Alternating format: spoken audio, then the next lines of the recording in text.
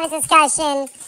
I mean, I, I thank you for buying me an advent calendar. That was that was I probably the least you could do. But I mean, what's what's with this whole thing with one treat a day?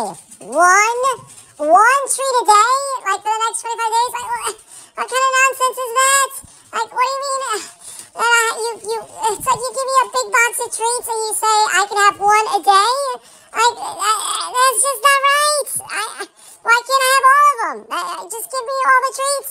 It's a box full of treats and I like them and because they're delicious.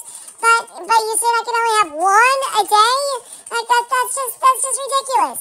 That that's like me giving you a case of, of your favorite wine and then I say, um, you can only have a quarter glass a day.